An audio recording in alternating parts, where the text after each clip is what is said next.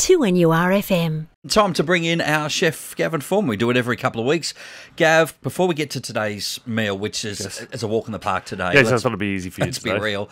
Uh, we've been up on our Facebook page today.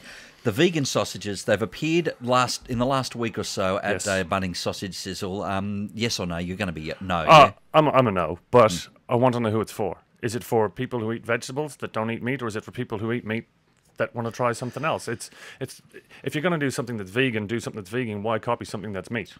I always think it's a little. It, it, it my- like plays with my bacon senses. and faux turkey It and- plays with my senses too. It's something supposed to look like something but taste like something else. It's- Yeah, it's it's, it's not my cup of tea at all, and uh, like I've no problem with vegans, but I find vegans are very preachy.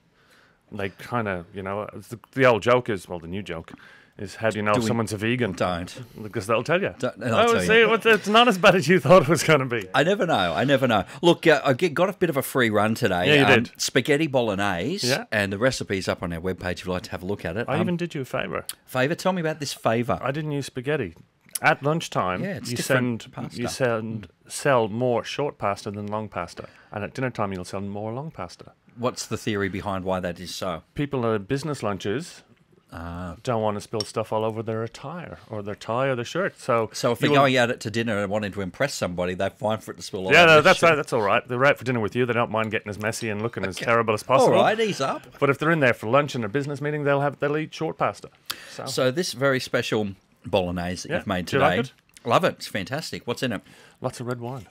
Lots of red wine, and I love a bit of sugar. And I use carrot too, which is very controversial in the world of bolognese. What, why? because Tell me bolognese so. is, uh, it originates from Bologna in Italy, but every every little district's got a little twist in it, and there you go. There's the real bolognese. This is our real bolognese. This is the real bolognese, and Ah, okay. it's like bubble and squeak. yeah, it's like there's a set set recipe and that's it. We don't divert. Yeah, but everyone's recipe's different.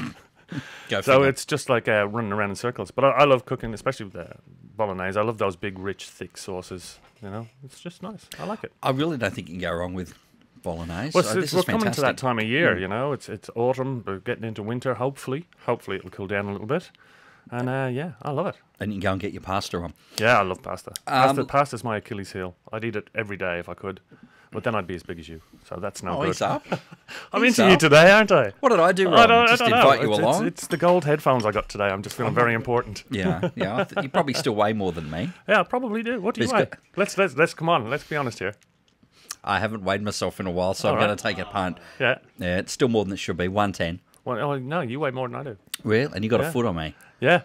So there you go. And I love pasta. I need to stop with the spaghetti. You see, I stand up and work all day and move and work all day. Yeah. I don't sit in a chair and push I didn't buttons. sit. I didn't sit in a chair. I, I don't know what's wrong this morning, but I've just Oh. decided it's you. I don't know. It's, it's my turn.